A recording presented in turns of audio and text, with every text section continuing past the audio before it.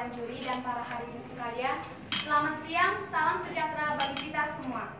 Kami dari SMP Negeri 2 Pangururan akan mempresentasikan karya tulis kami yang berjudul Daur ulang limbah plastik menjadi bahan kreasi ramah lingkungan di SMP Negeri 2 Pangururan sebagai solusi alternatif untuk pengurangan sampah plastik dan Toba. Dalam rangka lomba karya tulis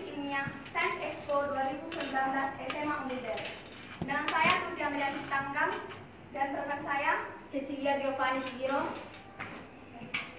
Sebelumnya kami mengucapkan terima kasih kepada Bapak Pembimbing yang telah mendidik kami sehingga dapat menyelesaikan karya tulis kami dengan tepat waktu. Next. Adapun masalah yang melatar belakangi kami untuk membuat karya tulis ini adalah mengingat Danau Toba adalah salah satu danau vulkanik vulkanik terbesar di dunia dengan luas mencapai 1145 km persegi dan menjadi salah satu destinasi wisata yang menjadi prioritas pemerintah saat ini. Prioritas pemerintah dibuktikan dengan kunjungan Bapak Presiden Joko Widodo yang telah beberapa kali mampir ke Samosir untuk memastikan proyek-proyek berjalan dengan baik di kawasan Danau Toba.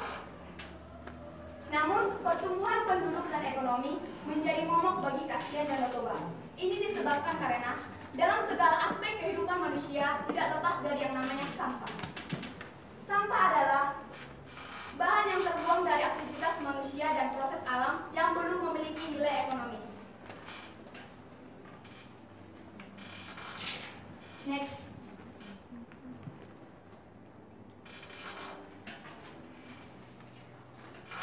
Kita mengetahui bahwa sampah adalah sampah adalah bahan yang cukup sulit diuraikan, seperti yang diungkapkan oleh Menteri Perikanan dan Kelautan atau Ibu Susi Pujastuti pada saat pembukaan Karnaval Pesona Danau Toba di Bali kemarin, menyatakan bahwa perlu waktu ratusan tahun agar sampah plastik dapat benar-benar terurai.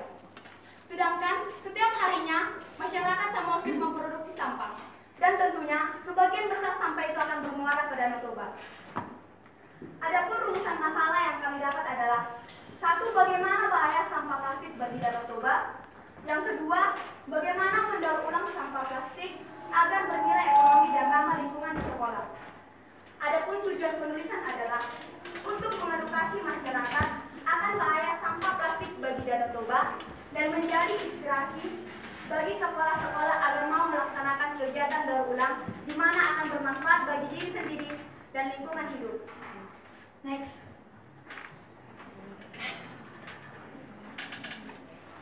Adapun pembahasan yang pertama yaitu bahaya sampah plastik bagi Danau Toba.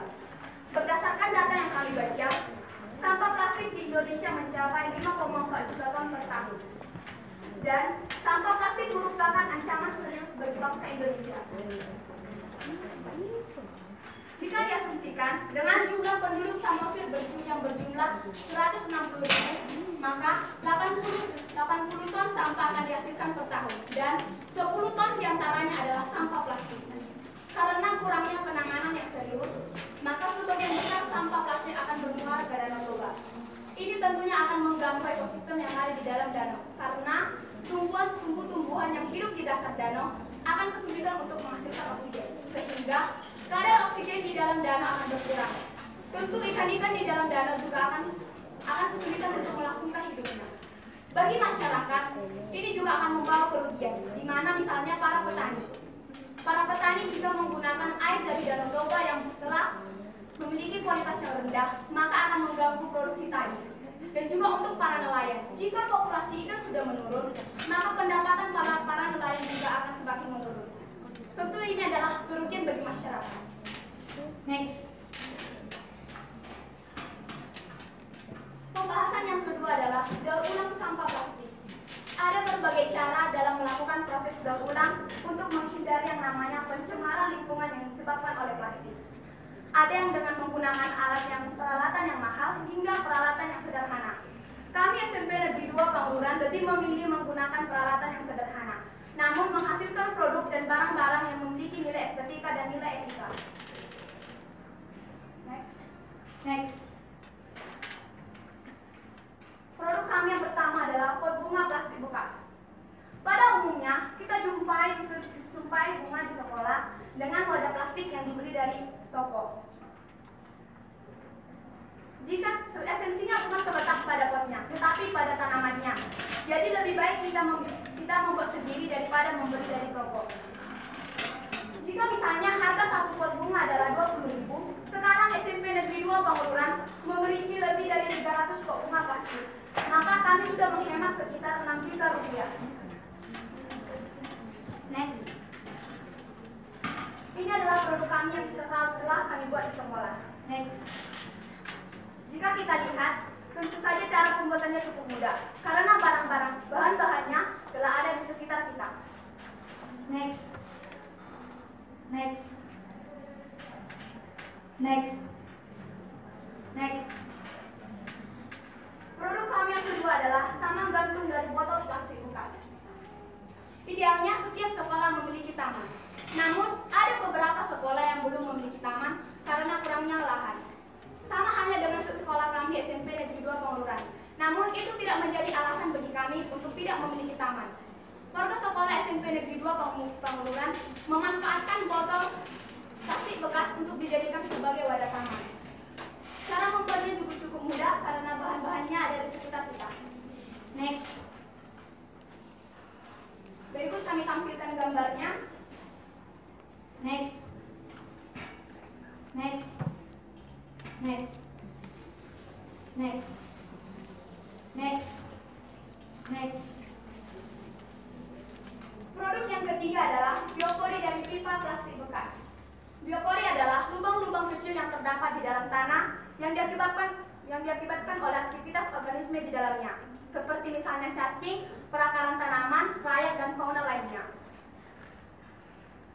Fungsi biopori adalah selain untuk pemanfaatan limbah plastik, juga dapat membantu tanah agar lebih mudah untuk menyuburkan tanah. Cara membuatnya juga cukup, cukup mudah. Kita saksikan bagaimana cara pembuatannya. Ini adalah cukup mudah karena kita hanya memerlukan peralatan yang sederhana. Next. Next. Next. Next. Dari pembahasan kami, kami menarik kesimpulan yakni sampah plastik adalah sampah yang sangat sulit di sampah yang sangat sulit diuraikan walaupun sudah ratusan hingga ribuan tahun. Kami, walaupun itu, kami menggunakan sampah plastik menjadi bahan berguna dengan cara yang sederhana karena tidak memerlukan peralatan yang mahal. Ini kami memanfaatkan sampah bekas plastik adalah semangat SMP Negeri 2 Pengururan untuk menjadi sekolah adiwiyata yaitu sekolah yang peduli lingkungan. Saran next.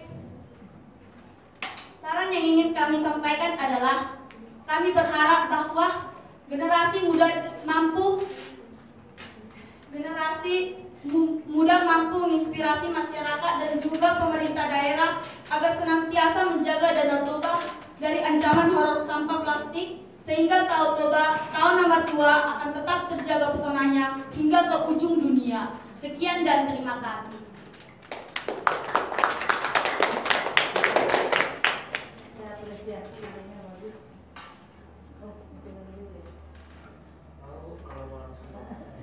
kita apresiasi ya idenya bagus apa niatnya kami sudah punya data yang sebaiknya untuk ini ya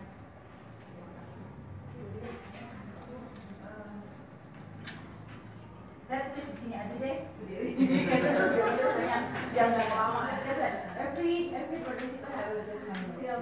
Dia lebih detail ya. Masalah ini. Uh, bagus ya. Uh, menarik sekali. Bahkan idenya memang pasti mudah sekali untuk dilaksanakan termasuk untuk anak-anak sekolah. Intinya uh, bagus terima kasih. Terima kasih Oke, terima kasih Pak Jadi untuk kesempatan usaha dulu kembali.